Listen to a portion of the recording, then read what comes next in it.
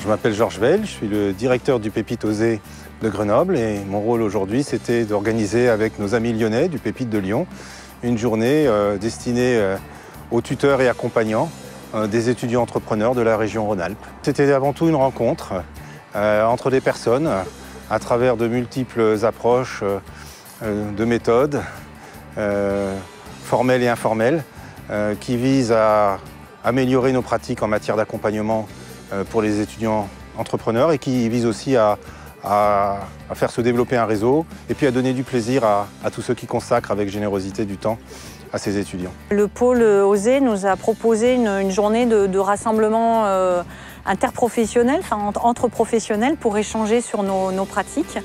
Et euh, ben, moi je trouve ça particulièrement ben, intéressant de pouvoir partager sur ce qu'on vit, euh, avec nos étudiants entrepreneurs, mais finalement qui se euh, rejoint souvent avec les problématiques qu'on rencontre euh, dans notre métier au quotidien. Ce matin, nous avons fait des exercices autour du thème de qu'est-ce que c'est qu'être un tuteur?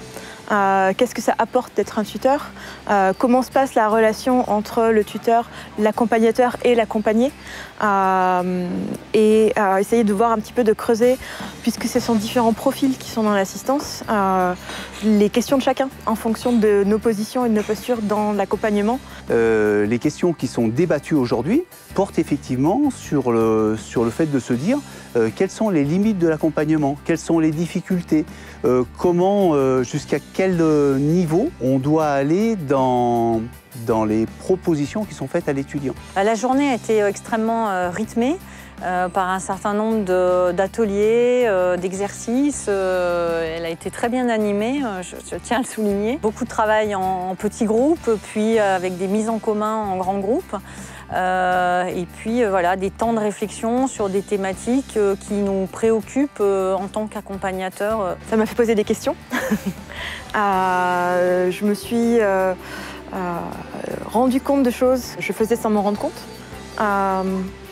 Je me suis rendu compte d'incongruité dans la position et dans la posture même de l'accompagnateur. À titre personnel, je repars avec euh, des idées euh, d'outils que je pourrais euh, mettre en pratique, en tout cas que je pourrais développer, mettre en pratique.